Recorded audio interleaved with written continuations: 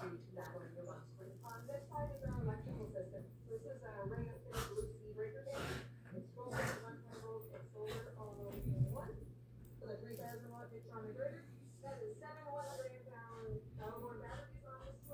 Our system is intentionally spread out a bit more to make it easier tours and explanations. We tend to have an electrical system with this much power in much smaller footprint than what we've done here.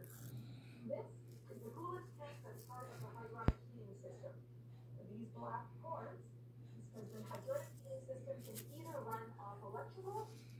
for diesel, we've got gas models, we've gas charges, diesel, electrical.